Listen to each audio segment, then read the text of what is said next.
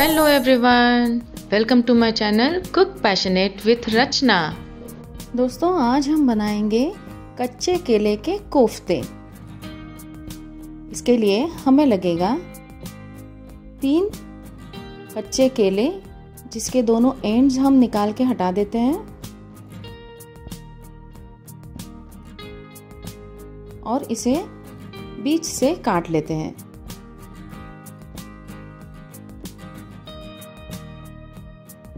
ये काट लिया है। अब इसे प्रेशर कुकर में रख देते हैं।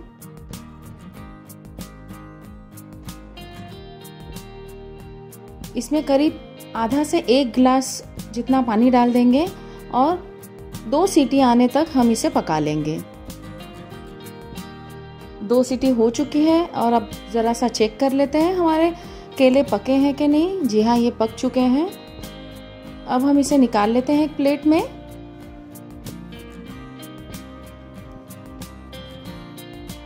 ये काफ़ी गर्म है और अभी से सारा प्रोसेस हम ये गर्म रहते हुए ही कर लेंगे।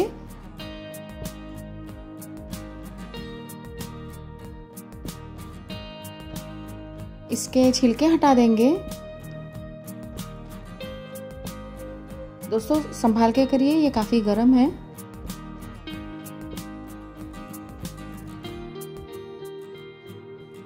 धीरे धीरे इसके छिलके हटा देंगे। ऐसे ही बाकी सारों के छिलके हटा के हम एक मिक्सिंग बोल में ले लेते हैं और उसे एक मैशर से मैश कर देंगे। इसे अच्छे से मैश करेंगे ताकि कोई भी टुकड़े इसमें ना रहे। ये अच्छे से मैश हो चुका है। अब इसमें बाकी चीज़ें डाल देंगे, जिसमें कि मैं ले रही हूँ एक चौथाई कप जितना बारीक कटा हुआ प्याज। इसमें मैं ले रही हूँ दो बारीक कटी हरी मिर्चें। एक चम्मच लाल मिर्च पाउडर, एक चम्मच धनिया पाउडर, आधा चम्मच हल्दी और एक चम्मच जीरा पाउडर। इसमें मैं डालूँगी अदरक लहसुन की पेस्ट, एक छोटा चम्मच और एक चौथाई कप हरा धनिया। इसे अच्छे से मिक्स कर लेते हैं केलों के साथ। ताकि ये मसाले केले में अच्छे से मिल जाए।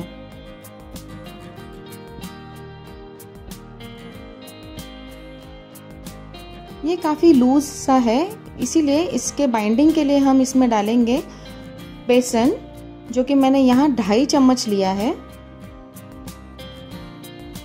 इसे अच्छे से मिला लेते हैं। यहाँ मैं डाल रही हूँ नमक, हमारे स्वाद के अनुसार।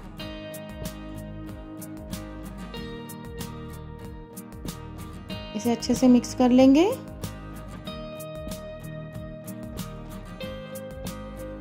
ये मिक्स हो चुका है और इसमें और बेसन डालने की ज़रूरत नहीं पड़ेगी।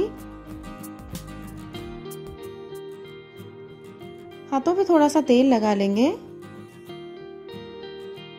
जिससे कि ये जो बैटर है हमारा, वो हाथ पे चिपकेगा नहीं। और अब इसके हम कोफ्ते बना लेंगे। मैं यहाँ राउंड शेप में कोफ्ते बना रही हूँ।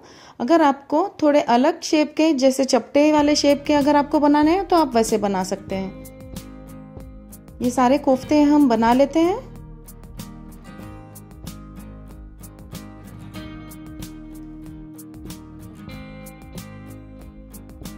ये सारे कोफ्ते तैयार हो चुके हैं। अब यहाँ पर इसे फ्राई करने की प्रोसेस स्टार्ट कर देते हैं, जिसके लिए मैंने एक पैन में तेल ले लिया है। दोस्तों, हम उतना तेल लेंगे जितना कि हमारे कोफ्ते आधे दूर तक डूब जाए। ये देखिए आधे आधे कोफ्ते उसमें डूब डूब गए हैं। और इसे हाई फ्लेम पे ही पकाएँगे। इसे, क्योंकि बाकी सारी चीज़ें पकी हुई हैं, सिर्फ़ बेसन पकने जितना हमें इसे फ्राई करना है। और ये काफ़ी जल्दी ब्राउन हो जाता है। ये चार बचे हुए कोफ्ते भी हम इसमें फ्राई कर लेंगे।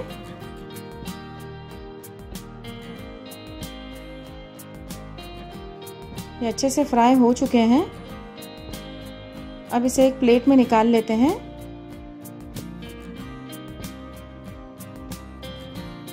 अब ग्रेवी की तैयारी कर लेते हैं, जिसके लिए मैंने एक पैन में तीन चम्मच तेल लिया है, जिसमें मैं डालूँगी जीरा, बारीक कटे कड़ी पत्ते, और यहाँ पर मैंने एक पेस्ट बना ली है, जिसमें दो प्याज, तीन हरी मिर्च और एक बड़ा चम्मच अदरक लहसुन लेके मैंने पीस लिया है।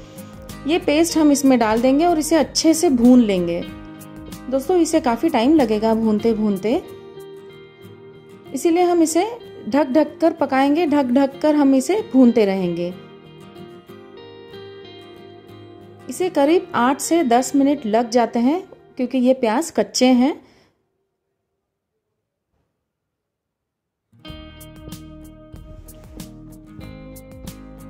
ये भून चुका है अच्छे से। अब इसमें मैं डालूँगी एक कप जितनी टमाटर की प्यूरी। इसे भी मिक्स कर लेते हैं और हमें इसे भी पकाना है।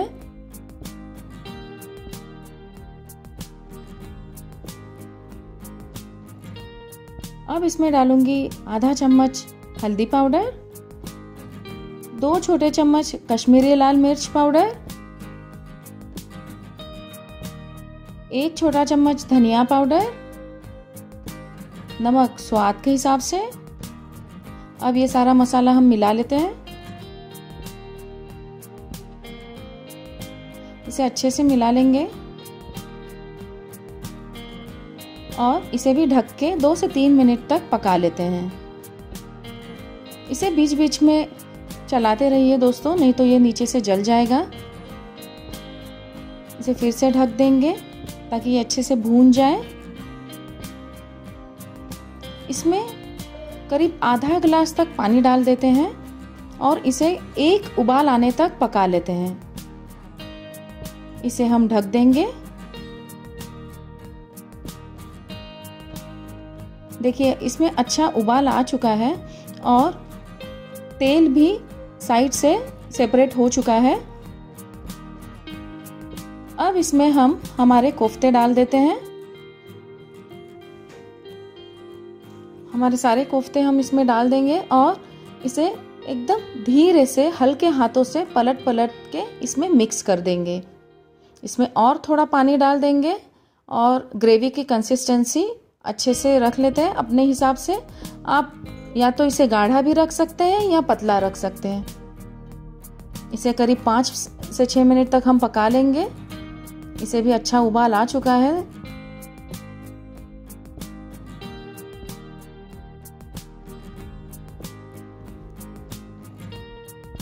इसमें हरा धनिया डाल देते हैं।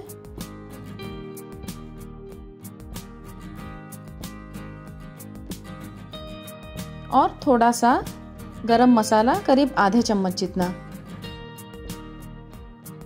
इसे अच्छे से मिक्स कर लेते हैं। थोड़ा गाढ़ा लग रहा है मुझे, इसीलिए मैं इसमें थोड़ा सा पानी और मिलाऊँगी। इसे ढक देंगे। ये करीब तैयार हो चुका है। अब हम इसे सर्व कर लेते हैं।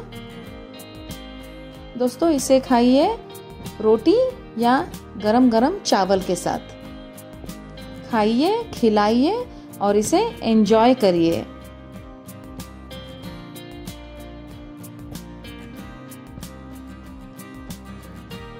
देखिए, कितने अच्छे सॉफ्ट लग रहे हैं ये कोफ्ते। दोस्तों, मेरे चैनल को सब्सक्राइब करना ना भूलें और अगर आपको मेरी वीडियो अच्छी लगी है तो प्लीज़ लाइक कमेंट और शेयर ज़रूर करिएगा। Thank you